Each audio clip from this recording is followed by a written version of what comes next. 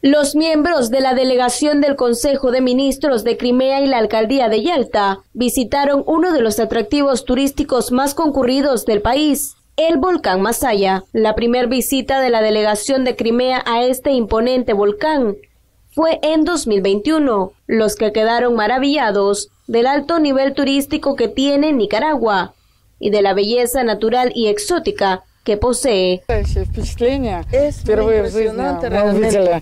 Por primera vez en la vida he visto un volcán activo. Еще одна достопримечательность прекрасной страны Никарагуа. Más de las maravillas del bello país Nicaragua.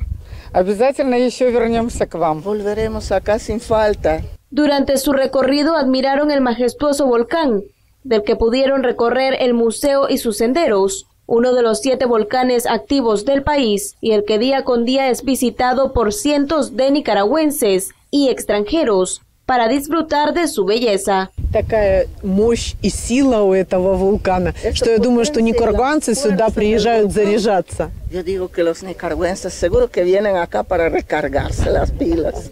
Esta delegación de Crimea perteneciente a la Federación Rusa ha suscrito actualmente un convenio bilateral con Nicaragua lo que permitirá el desarrollo turístico y cultural del país a un alto nivel, trayendo un gran beneficio para ambos países.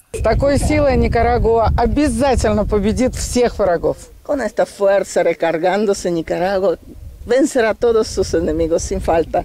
Con imágenes de Harold Montiel para Crónica TN8, Abril Dales y Quintanilla.